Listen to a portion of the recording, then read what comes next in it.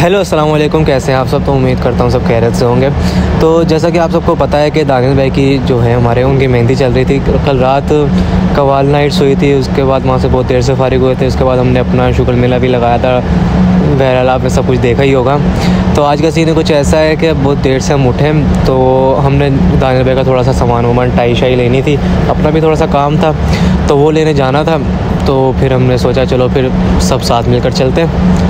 तो चलो चलते हैं okay The next day.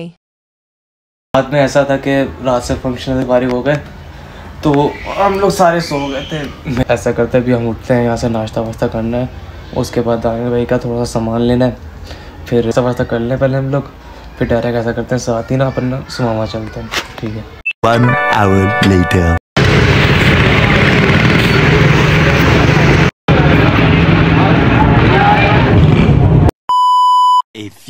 Minutes later.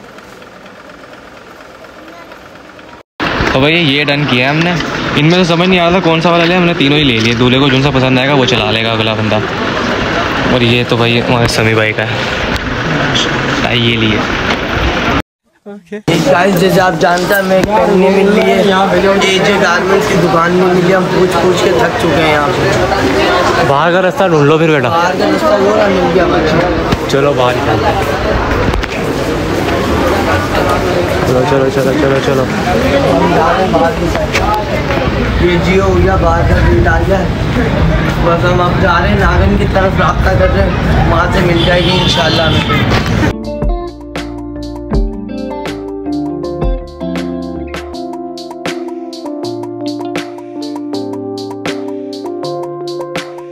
A few minutes लेना चाह रहे हैं। इधर बक्कल लगा हुआ होता है ये बक्कल आली नहीं मिल रही है बटन आली मिल रही है। तो पीछे दिखाई तो इसने वो बकल वाली थी। पीछे दिखाई है। लेकिन कलर समझ में नहीं आ रहा। मगर कलर समझ नहीं आ रहे ब्लैक कलर में चाहिए ये। क्योंकि सारे कलरों की ब्लैक है इस वजह से। ये ब्लैक हमें चाहिए ये देखेंगे बक्कल लगा हुआ है इसके ऊपर। ये अहमद भाई ये सांगर से आए मेहमान हमारे से।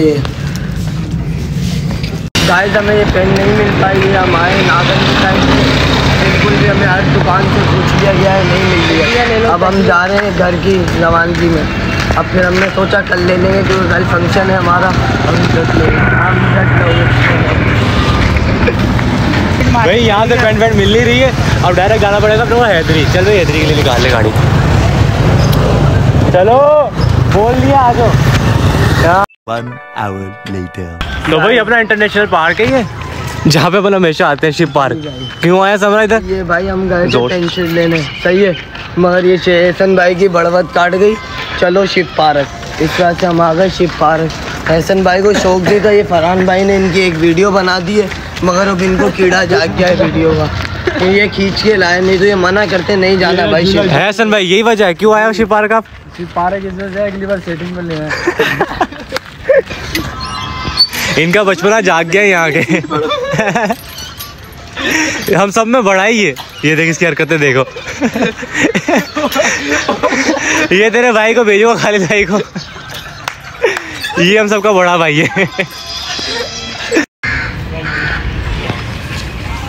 प्रैंक वीडियो फोटोशूट हो रही है। वाह क्या एक्टिंग करता है?